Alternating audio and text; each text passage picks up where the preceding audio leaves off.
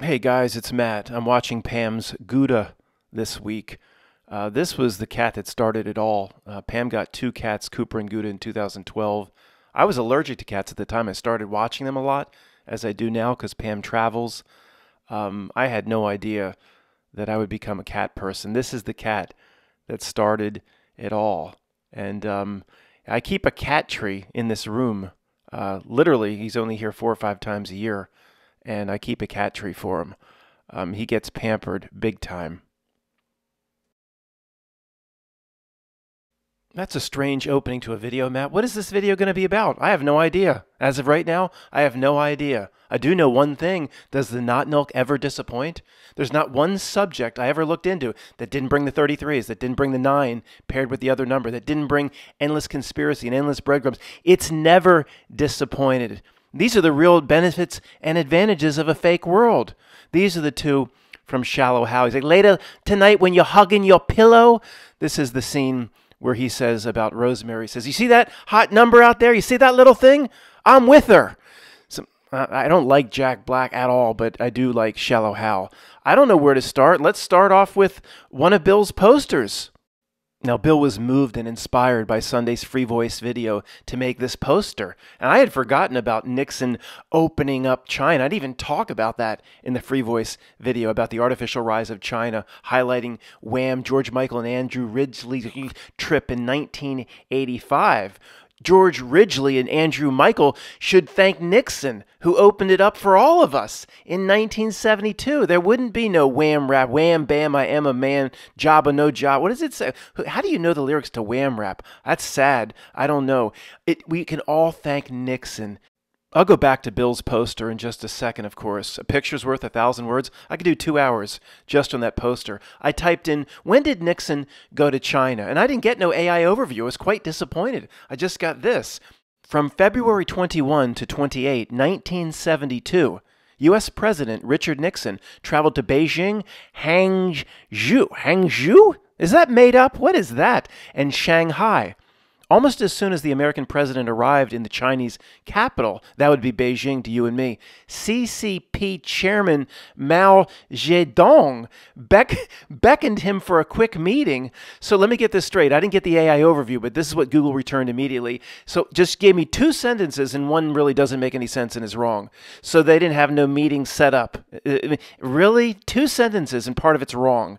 So as soon as he arrived, Mao beckoned him for a quick meeting. They they had no time. Matt, this is 1972 China. They ain't got no phones. They got tin cans with strings. This is implying, I think they had phones. This is implying they didn't have no phones. And Mao's like, "Oh, Nixon's here? Why didn't somebody tell me? This is ridiculous."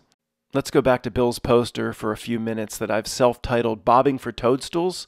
And if you're at work or forklift driving or long haul trucking or you're on a phone, try to remember if you can to go back and look at Bill's posters whenever we cover them on a larger monitor. You, you just can't see it if you don't have a computer, see the details that he puts in here.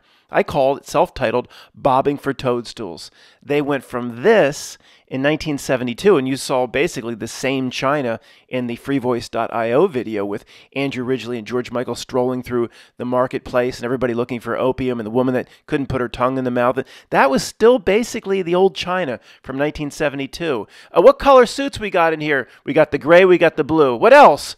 We got the gray, we got the blue when Andrew was there and George Michael was basically still the old China. Now, at that point, of course, from Nixon's visit and probably back to Albert Pike, China at that point had been chosen to be the world's manufacturer. Matt, you, you're, by saying chosen, you're implying there's no free marketplace and there's some group at a creepy table that makes choices for the entire world.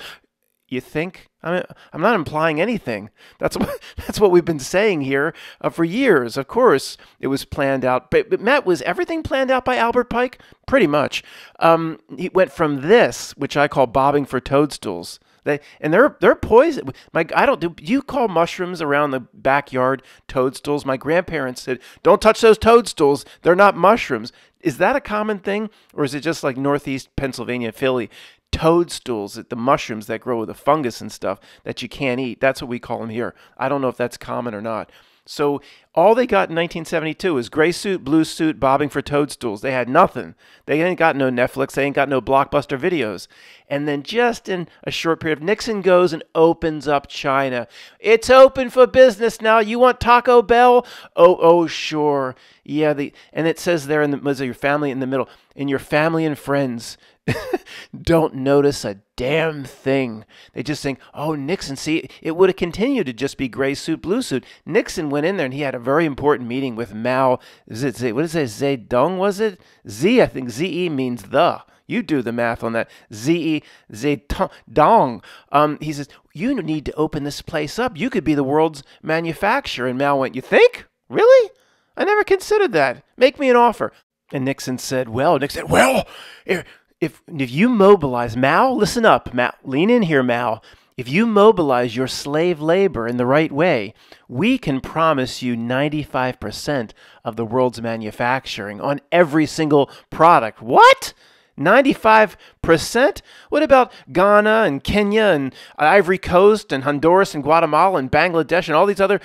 We can promise you 95%. Well, what about all those other countries that'll compete for the world's manufacturing at the top corporations? He's like, we got it all worked out. Guatemala, fuck them. Honduras, we decide where the all the corporations see Mao, We're going to share some things with you, you might not be privy to.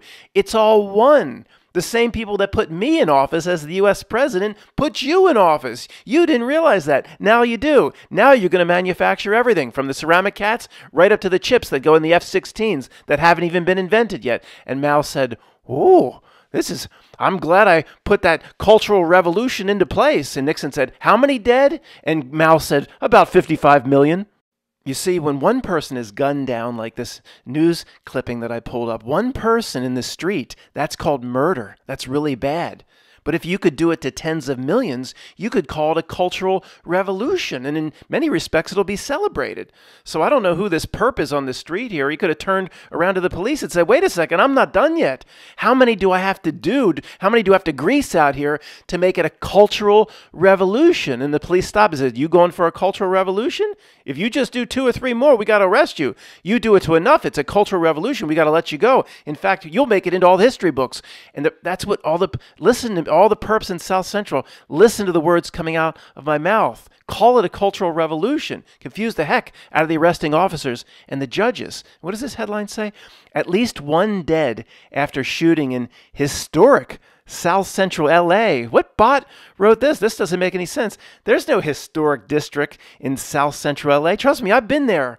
I've been to the corner of Florence and Normandie. I read Reginald Denny got his head beaten up with a with a brick. I've been the 110 through that horrible neighborhood. I got dumped out on the Imperial Highway once going to the airport because everything was blocked off. He said, "You got to exit the highway." I ain't exiting the highway down here in Watts. Luckily, it was only 7:30 in the morning. Everyone was still asleep. I got the hell out of there. There ain't no historic district like Old San Juan, Puerto Rico. You go to Puerto Rico, they have Old San Juan, the old bricks, the old stone, old Tijuana. They don't got that in South Central LA. Just bars in the window. I don't know what. Sorry, I don't know what this headline's talking about.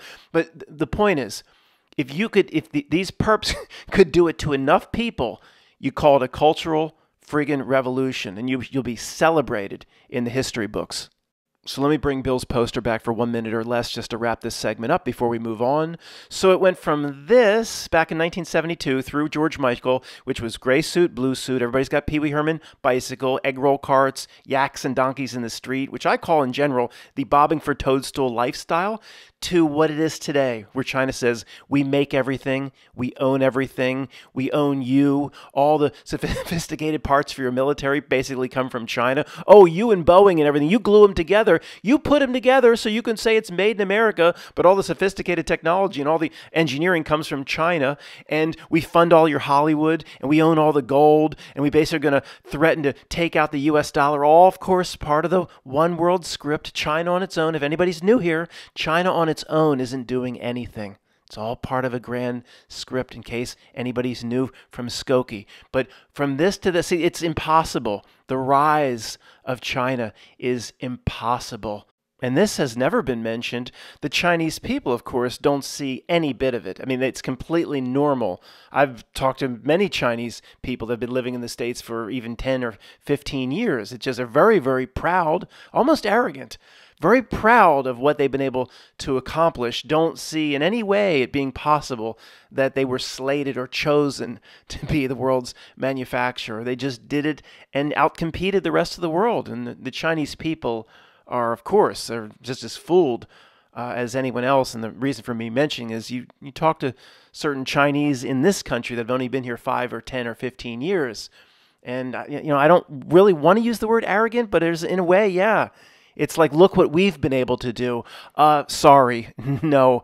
Uh, there's, there's, goes back to the Knights Templar. Probably you were chosen to be the world's manufacturer, um, and you know uh, you should maybe check the arrogance. Uh, I just wanted to mention that before we close out this segment. I got to show you this briefly, guys. No, this isn't a stove or won't turn into a stove video, but YouTube knows to show me that everything related to building something that creates heat, any sort of outdoor fireplace, or it shows me everything related to uh, makeshift wood stoves, as you know. Okay, so this pops up, one of the original old videos about masonry heaters put a bunch of bricks together. They're called masonry heaters. All right. Well, obviously, YouTube's going to show this to me. And I'm like, wow, this is one of the original old films from the Masonry Heater Association of America. I click on it and look what it does. The video is called Historic Introduction to Masonry Heaters, and the YouTube channel is American Masonry Heaters and Ovens. And it look what it did. It puts in the Freemasonry banner. Really? I mean, this it's the whole videos about fires and come on. I mean, I wouldn't give bot, I wouldn't give a squirt of piss for your ass right now. Oh, there's a chance this could be about Freemasonry, or you make. I had to call them the Rothen. Remember the Rothensteiner Steiners? If I say the word, it puts a banner. Oh, let me take you to the real truth. Ignore what this video is saying. I'll put a banner underneath. It'll tell you what is real. It'll tell you to ignore the, those conspiracy people. Then my friend Tony can say, "You guys made a video, and underneath it put a banner because your video was so out there, so insane that YouTube had to direct people to the real truth to make sure they don't become one of you people. It put a Freemasonry banner, which I've also called at times a marquee, under a video on heaters and ovens. Bot, I wouldn't give a squirt of piss for your ass right now. And even at this channel, there might be a first grade truther crying out, "Look, Matt, the bricks! The bricks! Are, that's a free! That's a Freemasonry sign!" And the banner adds, uh, "That's the lowest and most pathetic thing I've ever heard in a truth video in the perhaps 15 years I've been doing this. Those that call out, "There's bricks in the background! That's a Freemason symbol!" Uh, there's like a hundred million buildings in the world that are made of brick and double that in terms of brick walkways. Whenever you see brick, I'm sorry, no, it's not a Freemasonry sign. Oh my God, the bullshit that we went through in our slog to get out of the bog. That's because Matt works with bricks. I had a, f- I had a few comments, believe it or not, through a, those people are of course immediately removed from the channel. He works with bricks. You see that little thing out there? You see that little number? Later tonight when you're hugging your pillow? Remember, I'm with her. These guys are looking out it's Matt, it's not that great of a movie. I think it is. Rest in peace, my man Lee Boy. Rest in peace. I'm not making fun in any way. I love this character from Shallow Hal. I love the actor. Shallow Hal's Joshua Shintani, dead at 32 of pneumonia in Hawaii immortal words. Uh, yeah, we'll blend in. Rest in peace, Lee boy. I'm, I would never make fun. No, I'm not joking. I love this character. In this segment, I want to use Bill's Two Asses in a Nation poster to zoom in on certain segments to show you some of the detail that he puts in to these posters. Now, this is going to be very difficult for long haul truckers, forklift operators, people at work. I won't spend too much time here because I know many people really can't look at the detail or even you're on a phone. So I'll try to talk this through the best that I can. I just want to give those on a computer an idea of the level of detail he puts in here. If anybody's new, two asses in a nation, what happened to Donald Trump or supposedly happened via what the news lied about recently. Two asses in an there was an ass ass in a nation attempt on Donald Trump. You, you, understand where this is going, right? If anybody's new, the first one, what, what did we come up with? We call it the what we call the failed earring, right? You go to the mall, you there's that gun or something, a, gun at the mall. Bot, you go. It puts an earring through the lobe. It's a it, the, the failed earring is the first one, and the second one, of course, we've settled on a rifle in the woods. Let's start by zooming in on the top right quadrant of the poster. And long haul truckers, I can talk you through this. You still listen to baseball games on the radio? Are you watching the game? No, so we can do this. In the middle of the candidates is a guy sticking his head up his own ass, and he would be the guy begging you to go vote. Then the candidates are on each side, both with the faces of a butt or an ass. In the front there, down at the bottom, is the magic bullet from the JFK Two Asses in a Nation. But Bill, one thing here, you have Beavis burnt in to the podiums, which are actually some sort of crates from which the candidates are standing behind. They're not podiums, they're like crates, something which you would say package up fireworks in. What you'd want to do here, Bill, is either put Beavis on one and Butthead on the other, but because they're both buttheads, the candidates are both asses, two asses in a nation, both buttheads, you want Butthead burnt in here, Bill, not Beavis burnt in here, but that's okay. It's the first out with it, Junior! It's the first mistake Bill has ever made on a poster. And I make a lot of stuttering mistakes. Do you see Zapruder? Do you see Zapruder behind the butthead off to the right in the, in the black? Did you catch it was Zapruder back there? The first interview, just an hour after the event, was local KT, whatever news, uh, Dallas uh, was in. We have what was it, Abra? We have uh, Abraham uh, Zaputa. He says Zaputa, and you you filmed it. Is just an hour later. He's like, my my secretary told me to go back and get the camera. I went to get some pixels. I take some pictures of the took some pictures of the president. Then he and he laughs a few times as as they all do. The duping that's duping delight, Matt. I've never heard that before. What did you call it? Duping delight. It's my first truth video. I've never heard that before. That well, in a, in a way, it is. They, they the, the reality though, it's not. It's not like these bad catastrophe thespians. The reality, in a way, has to show you the truth for those for the person in the middle that don't have their head up their own ass. Zooming in on the top left, we see the Texas Book Suppository building, and just above it looks like a Happy Days poster, you know, the TV show, but it says, Not So Happy Not Milk Days not so happy not milk days with the cast of happy days you know fonzie and potsy and ralph and oh there's richie that ron howard he became basically the tom hanks of directing for the not milk if the not really wanted to secure some false history to the minds of the people it went out and it got ron howard that villain and i'm sure we've all seen the youtube video happy days hell on set was not as jovial and as jolly as it looks and what is is that Matthew McConaughey there, Bill, with the white T-shirt. Um, he's got the JFK T-shirt on. At first, it's just JFK resting his arms. I thought literally JFK was holding a, um, let's just say, a biffle, his biffle, and pointing it back up at the window. Now that would be a heck of a T-shirt. I just gave somebody a really good, maybe TJ, a really good T-shirt idea. JFK holding his his biffle. That's the way I have to say it. Trying to point it back up at the window. That would sell.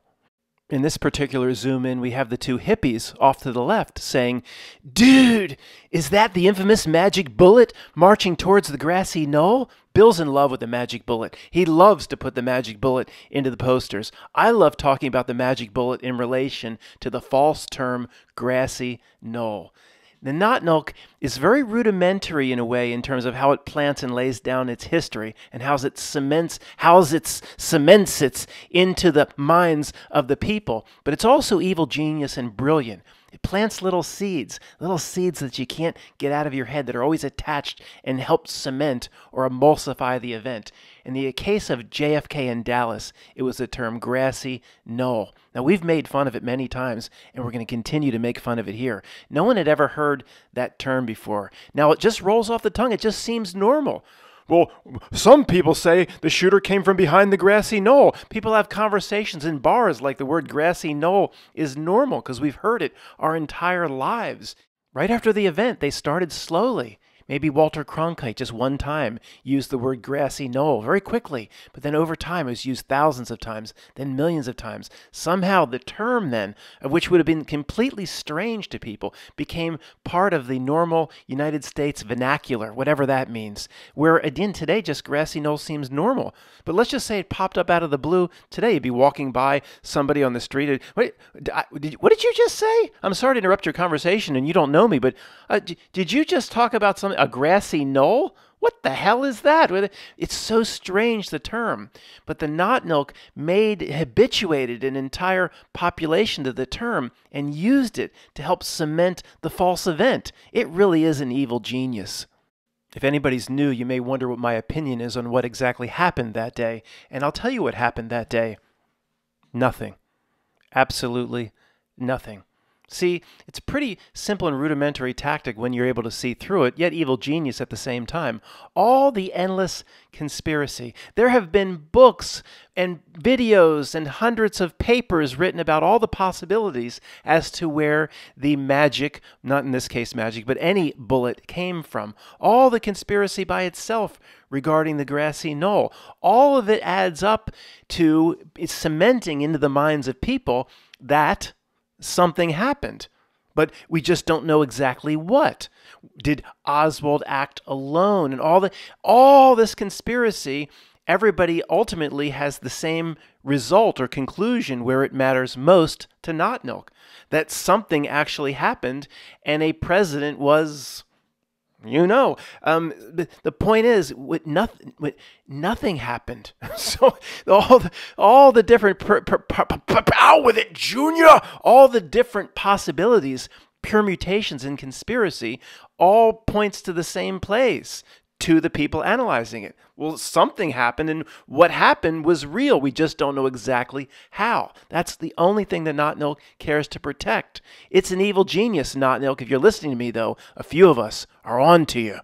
We've looked at this many times, and I just referenced it a few minutes ago.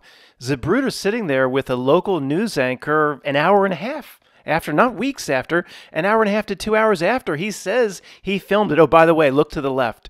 Oh, they just happen to have a picture, picture of him in the stands with his camera. I mean, come on, there. Whether maybe he posed for this later, but come on, they always happen to just have the right pictures in place. The point is, it gets right back to the Triple X scene. Vin Diesel, the movie Triple X, was actually a pretty fun movie. That my favorite, the diner scene where Triple X says to the waitress or about the waitress, if she ain't real, then this whole thing ain't real.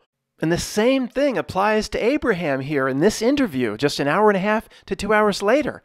If he's not real or he's not convincing, then there's no way any part of it can be real. They go hand in hand.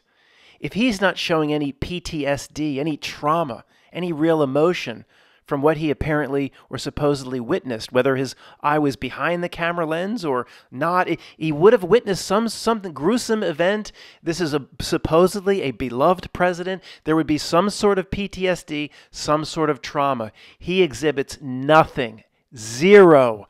And if he ain't real, then none of it can be real. It is literally that simple. And the first grade truther of right about this time is crying out in the night, Matt, it's your responsibility to remind people that Abraham Zapruder, we believe, was a 33rd degree free. Oh, really? Oh, yeah, that's right. Um, because I want everybody to focus on particular and specific bad guys. Oh, there's Matt making excuses again for the Freeman. He makes excuses for the Jays. No, uh, as I said millions of times, and I'll continue to say it. And if you're an old guard and you're getting tired of hearing it, sorry. I have to cater to the fifth graders, getting them to 10th, 11th, and 12th grade to eventually someday graduate and get out of the bog. If you're focused on a specific bad guy or blaming a specific bad guy, like the Jays or the Freeman or or the OTO or the Golden Dawn or the Knights of Malta, or all these different groups, or the Knights Templar, if you're focused on a bad guy, you are playing into its hands and doing exactly what it wants. Okay, I do mention it just because I heard the first grade truthers crying out in the night, so I mention it. The the not milk has a lot of different types of minions. So what? Okay, Matt, but while you have this picture up, aren't you going to make fun of it for at least 30 seconds or a minute? Y- yeah, I'm going to pretend somebody asked me. and I'd like to make fun of it. I really would. I can't resist. my, uh, my, my secretary uh, suggested I go back to the office and get my camera to take some pictures. Uh, I got my, I, I was shooting the and we heard a, a loud shot. do, they, do, do you think they recycle the same sorts of lines that they put in, say, the Legolas event? That that's Orlando, Orlando Bloom. The, they say oh, it sounded like firecrackers. It sounded like party poppers. It's always the same thing. Did Mike, Mike the you know what, Mike the cock from uh, let's just say the gambling town event? Did he? It sounded like firecrackers, and then my buddy, my buddy took the. Then we knew it was for real. they have the same lines. It probably I forget this. You know, I've watched this many times. I didn't just watch it. He probably uses the same recycled lines that they use in all of these events. It's just look the not milk. You know, maybe it is some sort of AI or whatever. It has to give itself away. It has to give clues. It's it's always recycling the same sorts of themes and I mean, it's a joke to us. The people around us, I mean, they just, come on, they, they think we're absolutely insane at this point. They'll never see it. And as the ship sails further and further away down the river of insanity, things will look even stranger to us, but look even more normal to those on the ship asking Isaac for another drink, and the divide between us and our friends and family, folks. Look look forward to this over the next few years. It's actually going to grow further apart. There's no way around it. The ship will continue to sail. They're in the middle of the ship and we are rowing in the opposite direction. To me, I remind myself that's the greatest news of all time. Thanks for listening.